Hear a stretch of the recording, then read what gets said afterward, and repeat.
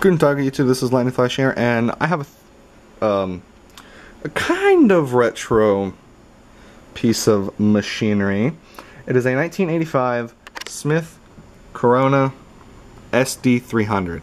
Spell right too. That's uh, something it has you know, here, and let me flip it on here.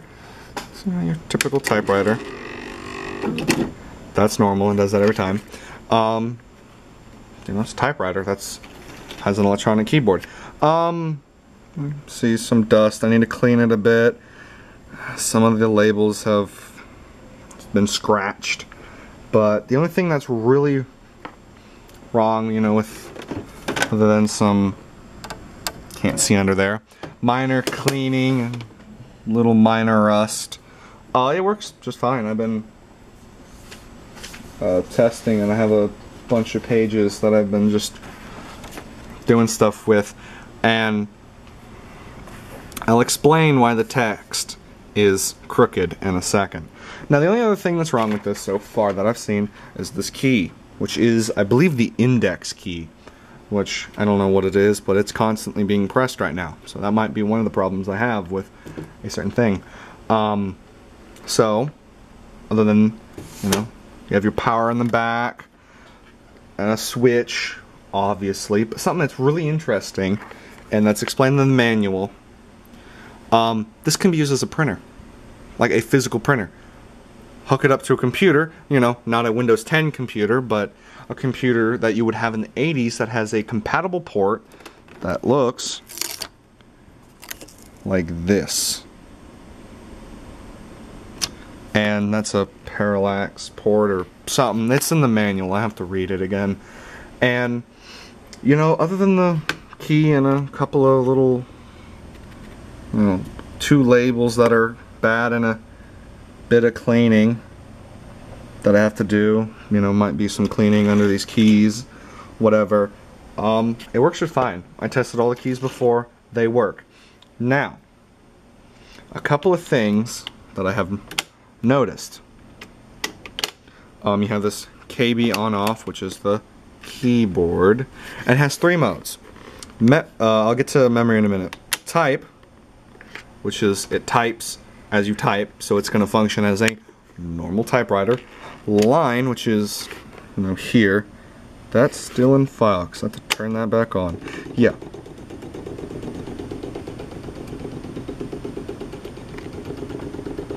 Okay, address that in a minute for a second.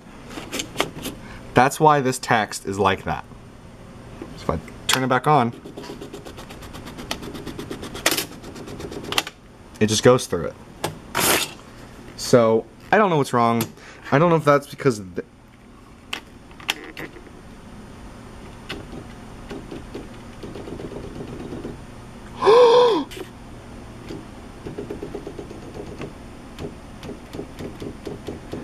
because this switch is constantly being pressed. So when you turn the keyboard off, it will it'll ignore anything that comes through this, you know, it'll ignore it. But when it's in memory, it also ignores this because this is for a typewriter. It being used as a typewriter. So, again, uh, KB1 and 2, I don't know what that is. I guess it's different configs for the keyboard. I don't know. I haven't noticed a difference. But let's go through these three for a second. Type, obviously typewriter. Line, you're going to edit a line here before you print it. You know, you can proofread it so you're not doing that correction thing. You know, oh, I have to correct something or whatever. And then memory, is something interesting. Turn the keyboard on. It says file on the little screen in 1 to 8. Focus. So, in the manual I was reading, each of those little files, this can store eight different files with up to 3,000 characters per file. Like 3,000, 3K is the highest. So, you know, you can have up to 24,000 characters if you want to split your thing up into different pieces. Now, another thing, I don't know if bringing the light over here will help. Oh, it does you'll see 1, 2, and 3, files 1, 2, and 3 have a line. That's because they have, they're both, they have something stored on them, and they've been edited or printed or changed recently. And we'll quickly, we'll just press 1. So to get to each file, you just go 1 to 8. And you have print, edit, or erase. The little underline is which is going to happen. Print, edit, or erase. I don't want to do that right now. Um, when it goes through edit, it says you want to change the margins in case you've changed them, and say no, whatever. Mm, excuse me. Um, it's at default 12 and 72, but I've set mine over here so I can put my piece of paper over here instead of having to put it in the middle, which is something else I've noticed. There are different settings for different size pages. You know, here I have a page eight and a half matches up in between kind of hard to show this both of the eight and a halves. So then so an eight and a half put it in correctly. Crap.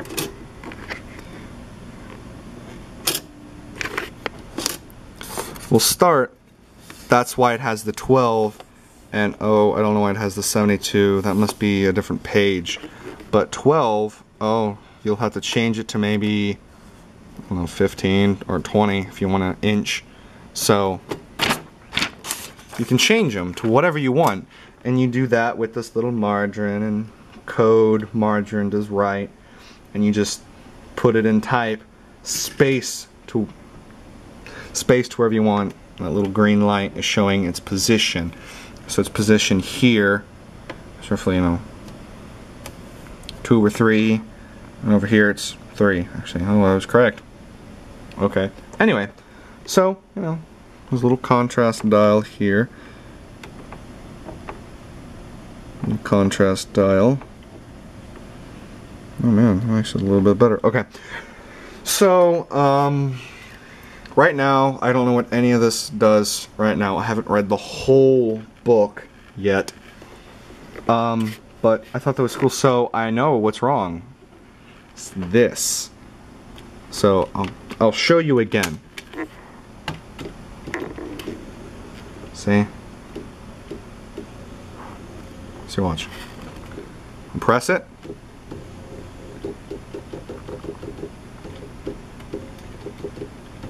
So that's why. Yeah, I'll have to find some way to prop that up until I get a spring and another key for it, which I can probably find fairly easily. So, I haven't done much research. I got this a couple hours ago and I wanted to do a little video on it, but I don't know too much about it right now. I'll post another video with some more stuff. Uh, while I'm cleaning it, you know, while I'm cleaning, I can say, you know, hey, I figured this out. And maybe we'll look inside of it to see what's what. There is a rechargeable battery, though, because uh, it's not in typewriter mode. There, on format. Keyboard on, format. It has these little formats, which the first set, or the first arrow is, uh, is normally on off, but it's on 11. So there is a battery that will save these settings. Certain ones. Some may go back. So, um, oh, actually it just says end of page, so it's basically going to warn you with a couple of beeps. You're at the end of a page of a, either 11 inch or a 14 inch page. You can turn that off in case your page is 8. If you have the 8.5 by 11 here, obviously that's 11, not this. So it wouldn't really work. Pitch, no idea what that does. Line, still have no idea. And impression, still don't know what that means. I'm still reading the booklet. It's not too big. But, you know, it's a nice little thing. And then you got your page release, that, the guide, because if you notice the page wants to come like this way and fold onto it, you do this, boom, done. Um, no advancing your lines. This is your spacing, I think. I said what KB on and off. Got a, but yeah. So that's really much it. Let's see this in operation. Go out of format. Uh, I put it to a three. A three. Oh, I just noticed this too. Certain ones, say A3 and A4. Yes. See that, how that, the A3 looks like an upwards rectangle and A4 is a sideways. That's the uh, page. Orient, orientation, don't know what I tried saying there, of the page. Now,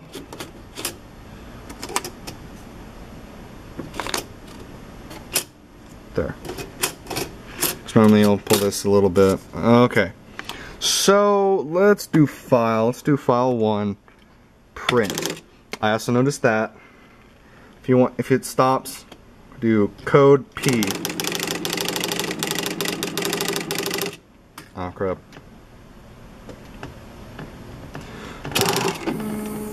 Boom.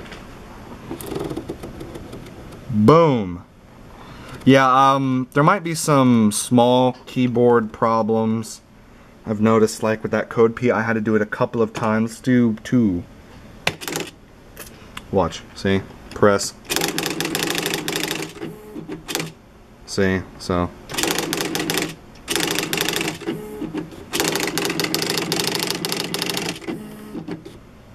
There. So, you see, this is a bunch of tests, and you know, there's not too much that's going wrong with like printing. Like if I you know, get in a little bit, you can see those characters are pretty solid. There's not what happened earlier. I had a couple of characters kind of mess up. That could be just the ribbon or the dirt. I don't know. Dirt on the page? Probably not whatever. It's gone now, hasn't happened. Let's print two again.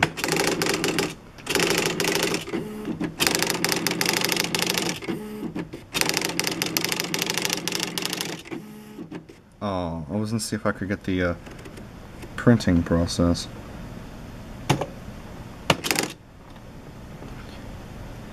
Maybe? Oh yeah,